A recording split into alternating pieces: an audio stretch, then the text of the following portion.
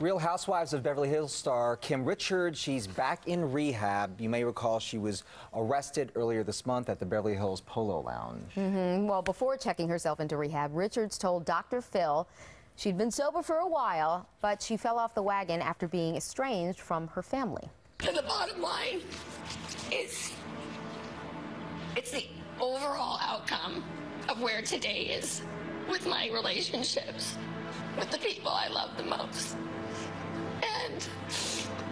That's what really started getting me upset. And I poured a drink of vodka like that.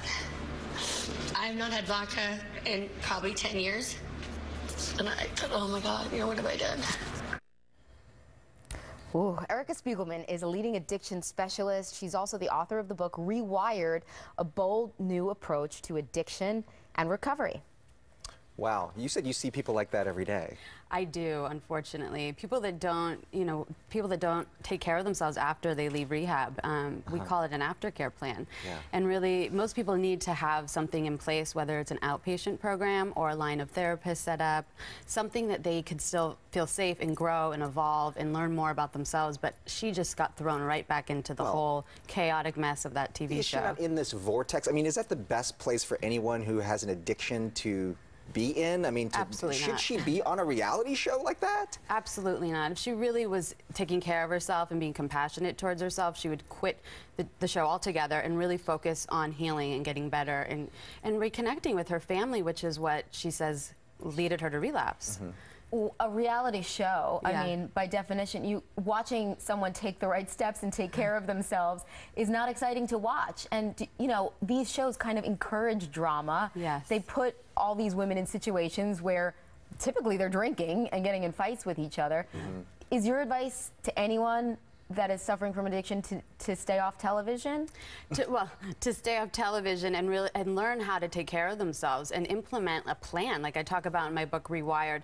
I really encourage people to be mindful of having time management in their lives. They have a they have small goals every week. They exercise. They eat right. They sleep. They're mindful of who's around them. Positive energy. These women obviously are fed lies and gossip to one another and it creates negativity and then they start fighting and that only would cause anybody to have you know stress in their lives especially if you're being followed by video cameras and yeah And seemingly, it, it seems like she keeps lying here because she says, I wasn't drinking, you know, for several years. Then she admits, okay, I had a couple of drinks Yeah. here and there. Yeah. I mean, that must be typical. It is. I mean, when people are trying to get sober and there's people watching them, dishonesty comes up a lot.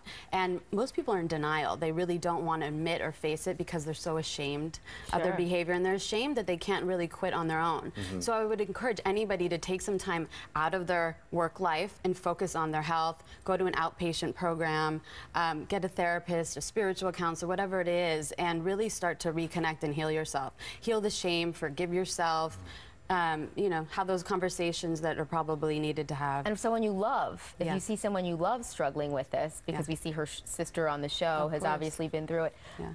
You know, how do you help that person instead of shaming them? it's it's you have to come to like a family member with a problem and and come to them with some empathy and say I'm sure this has been hard for you, but we love you. We want to be supportive of you.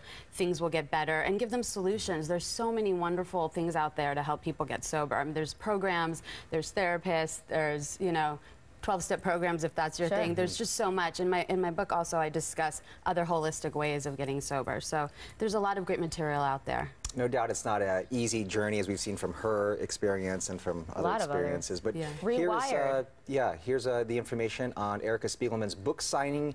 It is this Sunday at the Diesel Bookstore in Santa Monica. Thank you, Erica. Thank you for having me on.